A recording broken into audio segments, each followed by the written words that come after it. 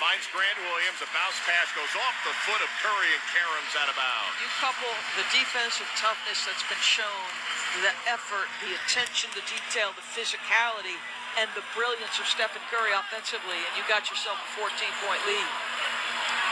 The Warriors outscored Boston 38-24 in the third quarter, game one. Here's the inbound baseline to Tatum. Sends it over to Theis, who's in the game. Now to Pritchard. A topside three. A long one misses.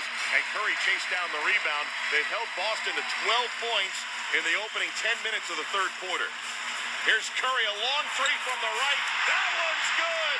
29 for Curry as the Warriors have built a 17-point lead late in the third. Steph's gonna step right now. You might want to double team and get it out of his hands.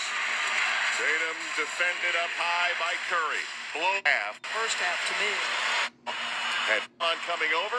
I thought in the gather that Tatum from our location, Curry at the half. Oh, good call. Had 15 points, 14 here in this third quarter. Third quarters have not been a problem for the Warriors for many years.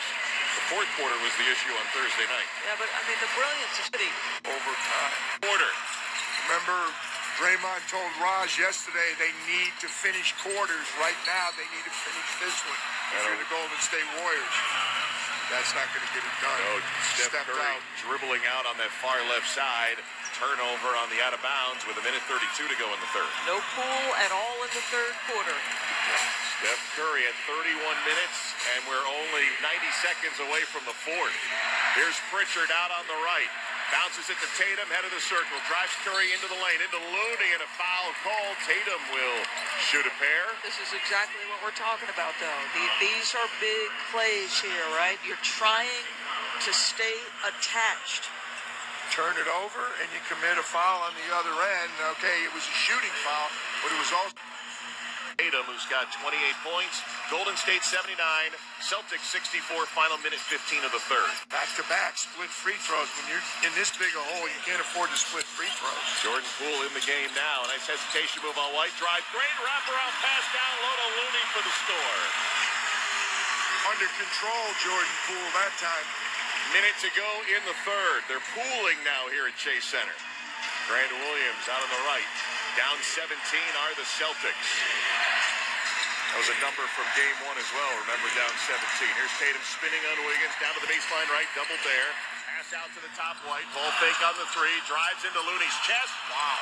Ball goes flying away. Ended up in the hands of Theis, but he didn't recover in time, and the shot clock expires. I think it's an exceptional no call, and Kevon Looney is a spectacular defensive player. I, I've not given him enough credit historically. Just outstanding instincts, toughness, awareness. Good decision by Steve Kerr and his staff also. He only played 10 minutes in the first half. They kind of drifted small. He stayed with Looney in the third quarter. 17-point lead. Poole will trigger a three and make it a 20-point lead. Jordan Poole with a triple. 28 seconds to go in the third. Remember, in game one, Boston got four late free throws in the third. A game that could have gotten away got down to 12. They've extended it to 20. No foul to give here. Eight seconds to shoot, 12 seconds to go in the third. White at the top, squares for three, missed it. Rebound Wiggins, five seconds to go in the quarter. Ahead to Poole at half with two. Poole's gonna shoot a deep three, and he hits it just inside of half court. 23-point lead for the Warriors, end of three quarters. I was surprised Steve went to him with about a minute 20 seconds. But big time lead, trying to get him some confidence. Back to back threes. The Poole with two wet jumpers. Jordan Poole with an exclamation point at the end of the third quarter. Boston only made four field goals in the third, outscored 35 to 14. The Warriors will take a 23-point lead to the fourth in game two. This is the NBA Finals on ESPN Radio and the ESPN app presented by Indeed.